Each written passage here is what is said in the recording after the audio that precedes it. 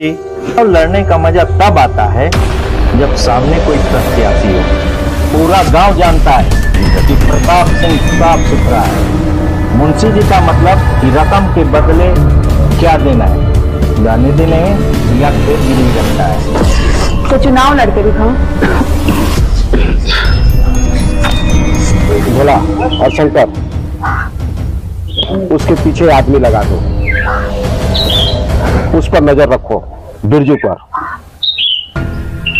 हमें लगता है कि कुछ न कुछ गड़बड़ है।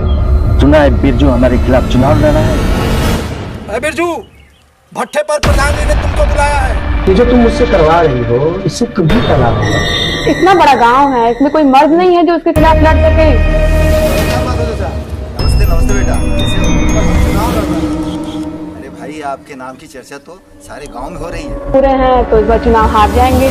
तुम प्रताप सिंह को नहीं जानती?